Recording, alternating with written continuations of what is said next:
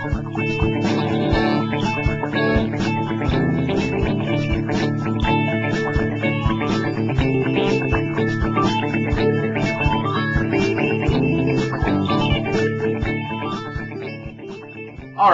let's talk about web browsers.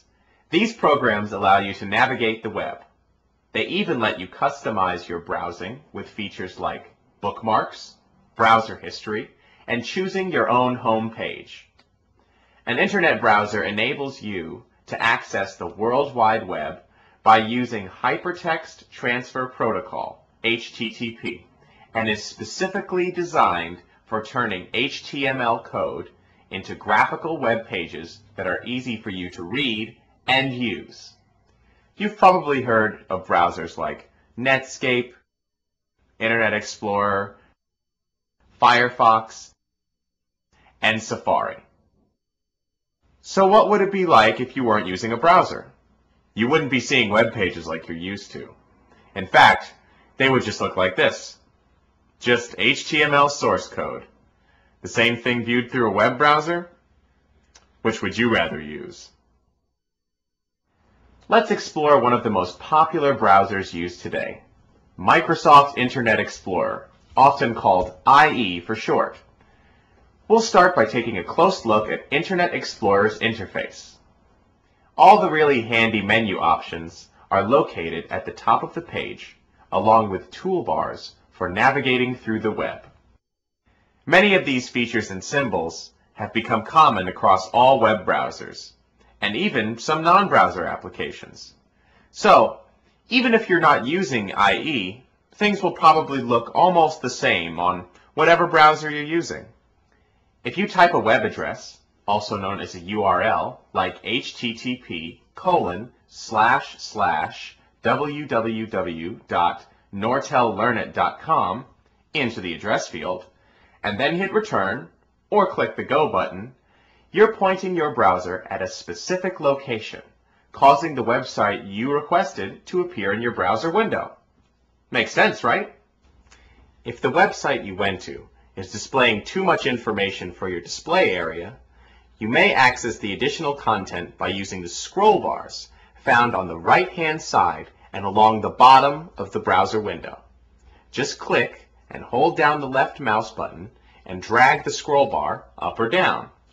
If you have a fancy mouse, use the scroll wheel. That's right, that's what the wheel is for. Fancy. One web page will be displayed at a time, but you can have a bunch of windows open at once. If you click on any hyperlinks, those are those words that are usually underlined, bold, or in a different color, depending on the web design you will jump to new content. The new page may open in your current browser window, or it may tell Explorer to open a brand new window. If you noticed, when you put the cursor over a hyperlink, in the bottom left area of your browser, it shows you the address of the page you will be going to. The basic functions of a web browser are very user-friendly. Like I mentioned, these symbols are quite common and used throughout the computing world. If you want to go back to the web page you were just viewing, you can click the Back button in the menu bar to return to a previously viewed page. On the other hand, if you find that you have gone back too far, you can move forward by clicking the Forward button, and it will advance through the pages you've just backed up through. Here's a cool feature. If there's a specific website you visit a lot, you can set it as your home page. This means that when you first load Internet Explorer, it will automatically take you to this website without typing in the URL. Often, people choose home pages that offer useful information like news, weather updates, search options, or perhaps handy communication tools like email or their favorite discussion boards. Very handy. This can be accomplished by going to the menu bar, clicking Tools, and dragging down to Internet Options. Then, find the Home Page field and type in the address that you would like to use as your home page. Most browsers will offer you the option of selecting your current page as the home page. After surfing on the internet for a while, you can always return to your home page simply by clicking the Home button on the main toolbar. Sometimes content on a web page updates itself. To check for updates, like new headlines on a news site, you click the Refresh button. It will reload the page currently in view. This is also handy if a page is loading slowly or not at all. Just hit the Refresh button to try again. The Search feature allows you to find websites about a specific topic by typing in keywords that describe what you are looking for. If you use this feature, you'll get a list of corresponding websites that match the criteria. Each URL or address that is displayed after conducting your search will be accompanied by a short description of the contents of the website, which you can click simply to access. These results are referred to as hits, and that's using a search engine. Remember, IE is a web browser, and a search engine like Google or Yahoo, is a tool used from a browser to find pages. Now that you've found the website you're looking for, you may want to find something specific on that web page rather than read through all the content. Say you're looking at a really long document, but you don't want to read through it all when you're only looking for a quote about blueberries. If so, the Find tool will come in real handy. To find specific words within a certain body of a page, click on Edit, drag down and click Find. Or hold the Control key and press F. Enter any word or phrase that you are looking for, and click Find. The program automatically searches the web page, locating the matching key word or phrase. This is a great way to save time without having to read through the whole page. Once you've found some websites that you like, and might want to return to on a regular basis, you'll really like the Favorites tool. To remember and organize the websites you would like to return to at a later date, click Favorites and then Add to Favorites.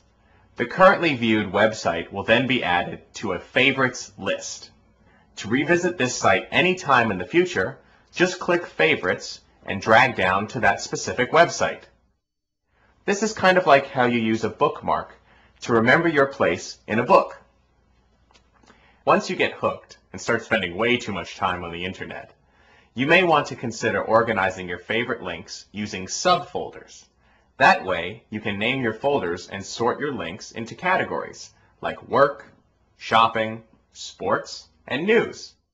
To do this, click Favorites in the menu bar, drag down to Add to Favorites, click Create In, to add the URL to an existing folder, or click New Folder to create a new category.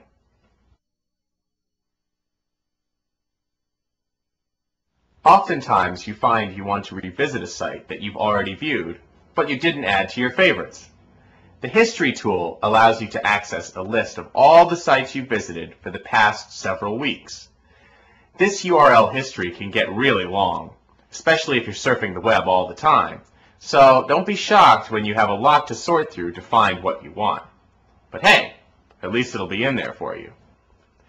To use the History function, click on the History button, just right of the Favorites button. Locate the domain name of the site you need, and a folder will open allowing you to choose the specific page you want at that website. This is really helpful if you can't remember the web address of the site you visited two days ago or last week. This is also a way for other users to see what you have been surfing, so be aware that at school or in a shared office, anyone after you can view the history of the pages you visited. So, surf wisely. Another quick way to see recent sites is to use the drop-down arrow to the far left of the address bar. Voila! All your recent sites appear. In this Internet Explorer overview, we've highlighted some key features Internet Explorer offers. If you still have some questions once you start surfing the World Wide Web, refer to the Help menu and access the free in-depth guides to the software. And remember that pretty much every browser out there has the same basic features, even if they might be called something a bit different. You can use one, you can use them all. Now that you know the basic skills for using a browser, you're ready to start surfing. So get to it, and I'll see you on the web. Or, well, no, I, I probably won't, but the web's a pretty big place.